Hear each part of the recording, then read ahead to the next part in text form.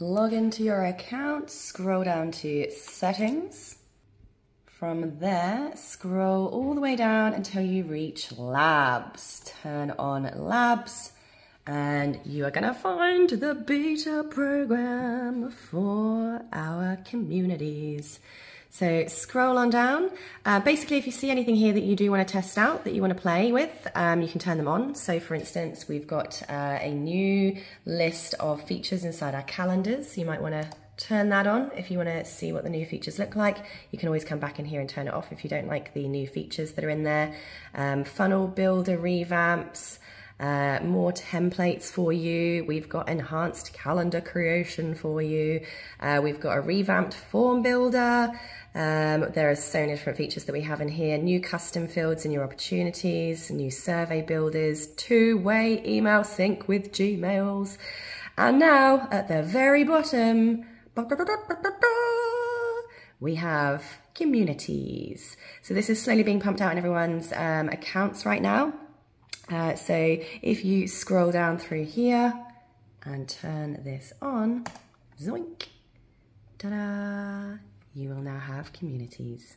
To create your community inside TekMatix, either a paid one or one that's part of a free access, you're gonna go to memberships and then click on communities.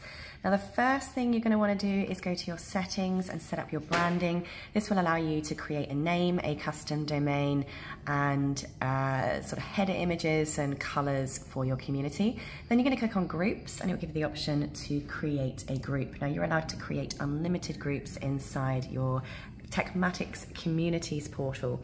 So basically for each group, first of all, you're gonna give it a name. So for instance, I've got a membership called my Edupreneur Academy. So I might create a group just for my Edupreneur Academy members. Now you could also create a group, for instance, for a particular course or a challenge that you're running. Maybe you have a summit and you want to create a special community area for everyone who is attending the summit. Maybe you wanna have a different community area for your summit speakers. These are just some of the use cases places that you might use a community area for. Now, after you've given your group a name, you can then choose a URL for your particular community. So they all start with a subdomain at .communities.io. That subdomain will change based on the domain of your actual account. Um, so I'm going to give it, you know, for instance, Sarah's um, Edupreneur Academy or Edupreneur Academy members. Now do note that regardless of what this URL is, once you've created it, you can actually go up to sites and courses, click on URL redirects and create a pretty link that is yourdomain.com forward slash community, for instance. Um, that's another way you can create a nice customized domain. Uh, group description, that speaks for itself. What is it? Who is it for?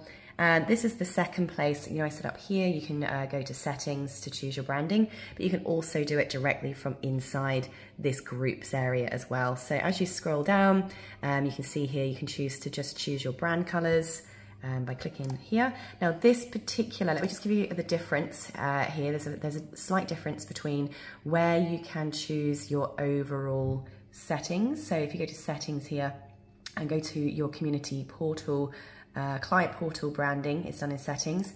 This specific group that we're creating here, this particular community, we can brand this separately. So um, for instance, I could make this community, I'm just gonna pick a color for it over here. Um, you can then upload your favicon. Favicons, by the way, are like these little images here, these little icons that go right at the top. Um, we have got your cover image, your logo. These all are just simply uploads that you add to this particular community area. So let's pretend I added all those and I'm happy with it. We just press create group. Is it gonna let me do that? Because I didn't fill in all the info. Okay, it's gonna ask me to do a group slug, one sec. All right, so I filled in my slug and I filled in my description. Let's go to create.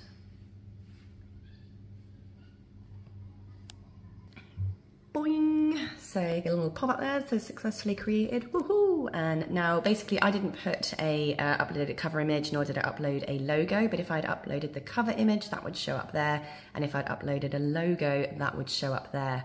Um, so this is what the client portal will basically look like to your students, your members, your community members when they go to log in. Um, and you can see here, because I have um, updated my own like little domain here.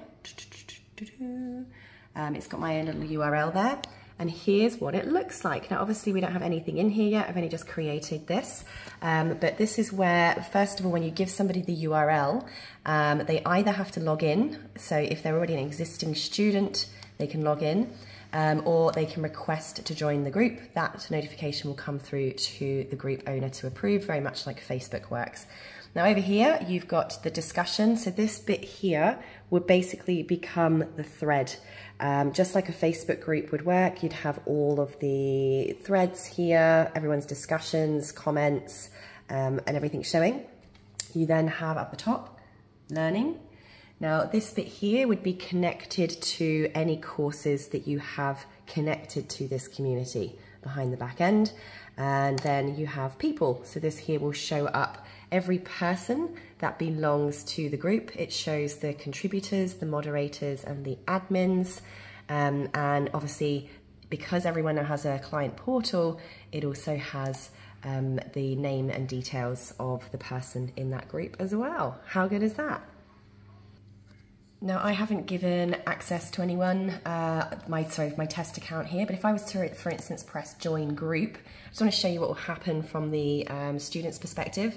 First of all, it's going to pre-fill my name, um, but it's actually going to ask me to log in or sign up and create an account. So basically, you're only going to have people in your communities uh, with an email address. So this could be a fantastic lead generation tool for you if you're creating free communities where you're going to share information and training that you wouldn't share openly, perhaps on social media, for instance.